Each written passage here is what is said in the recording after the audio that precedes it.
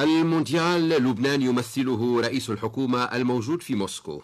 أما على أرض الملعب فيسرح وزير الخارجية ويرفع البطاقة الحمراء بوجه المفوضية العليا لشؤون اللاجئين. الغضب عبرت عنه أيضا الطبيعة التي جرفت سيولها مناطق واسعة في البقاع الشرقي وأسفرت عن وفاة امرأة وتحويل المنطقة إلى مساحات شبه منكوبة. وراك وراك هكذا يمكن إذا وصف الحالة بين وزير الخارجية والمفوضية العليا للاجئين.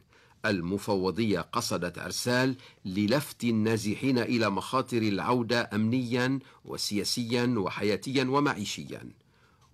والوزير باسيل قصدها أمس لإبطال مفاعيل التحذير الدولي. ويقصد اليوم جنيف للغاية عينها. والسؤال من وضع الهدف في مرمى من؟ الحريري المؤيد للمفوضية أم باسيل المعارض؟ من المبكر الحسم فالمونديال يفتتح اليوم وإلى المرمى الرياضي قبل السياسي.